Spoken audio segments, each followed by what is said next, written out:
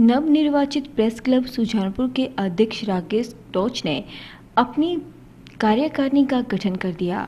बीती 25 जुलाई से जिला प्रेस क्लब के अध्यक्ष पंकज भारती की अध्यक्षता में एनयूजे सुजानपुर मंडल इकाई का गठन किया गया था, जिसमें सर्वसहमति से राकेश टोच को अध्यक्ष चुना गया था, जबकि सुरजीत ठाकुर को वरिष्ठ उपाध्यक्ष संजीव बालिया को महासचिव अनु परवारी को कोषाध्यक्ष जिला डेलीमेट के गौरव जैन अश्विनी शर्मा चुने गए थे। क्लब का विस्तार करते हुए अध्यक्ष ने संजय गुप्ता व राजन मेहता को उपाध्यक्ष अनूप कुमार पंकज शर्मा को सचिव बनाया है। संतोष कुमार को मुख्य सलाहकार बनाया है।